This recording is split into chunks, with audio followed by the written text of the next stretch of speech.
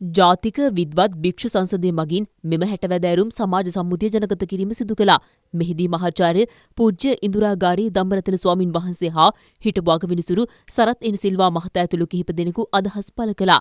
වහිනා වැස්සසේ වැටෙනා අවුවසේ අපි ප්‍රශ්නයක් දකින්න ඒක නිසා මේ ලෝක දේශපාලනයේ දේශීය වසංගතය තමයි අපිට හදාරන්න සිද්ධ වෙලා තියෙන්නේ. එච්චර දුරදිග බලලා තමයි හැටවැදෑරුන් සමාජ සම්මුතිය ගොඩනගලා තියෙන්නේ. රටක් හැටියට ස්ථානීයව ආස්ථානගත වෙලා අපේ ස්ථාවරය තුල ඉඳගෙන ඉතිහාසය හා ඓතිහාසික සભ્યත්වය හදාරලා අපට ආවේනික ධර්මතා හදාරගෙන තමයි මේ ගමන යන්න වෙලා තියෙන්නේ. ඉරගාවින් ග්‍රහයෝ යනවා මිසක් ඉර ග්‍රහයෝ ගාවින් යන්නේ නැහැ. එඳා ජාතික සංවිධානය ඉර වගේ වගේ ඉන්නවා. එහෙනම් මේ හැටවැදෑරුම් සම්මුතිය අල්ලගෙන අපි ඉර වගේ ඉන්නවා. ඕන ග්‍රහයකට අපි ගාවින් යන්න පුළුවන්. ඒ යන වෙලාවට ෆොටෝ එකක් ගහගෙන කවුරු හරි කියන්න පුළුවන්. ආන් අරගොල්ලෝ ඉන්නේ අරයා ගාව කියලා. හැබැයි හැටවැදෑරුම් සමාජ සම්මුතියේ ඉර එහෙම ඉන්නවා. සමහර ග්‍රහයෝ ළඟින් යනවා. ඒ සමහර ළඟින් යන ග්‍රහයෝ ටික කාලයක් ගියාට පස්සේ ඈතින් යන වෙලාවලුත් නැත්තේ නැති. ඒක නිසා අනාගත ආණ්ඩුවක ප්‍රමුඛතා න්‍යාය පත්‍රය ඉදිරිපත් කරන මේ මොහොතේ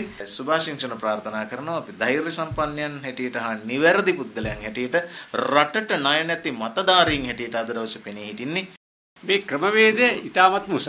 මේක ලැබෙන අයට කොපමණ දුරට මේ ක්‍රමවේදය අවබෝධ වෙයිද කියන එක ස්වාමීන් වහන්සේ මට චකිතයක් තියෙනවා. බලාගෙන ගියාම මට අන්තිමට තේරුනේ මේකේ මූලික කාරණා පහක් තියෙනවා. කාරණා පහ ඇසුරින් න්‍යාය පත්‍ර කිහිපයක් තියෙනවා. වෙන වෙන අදහස් පැතිකඩ ඉස්මතු වෙනවා. ඒ මූලික කාරණා පහ කෙටියෙන් හෝ මේ අය දැන් සඳහන් කරනවා.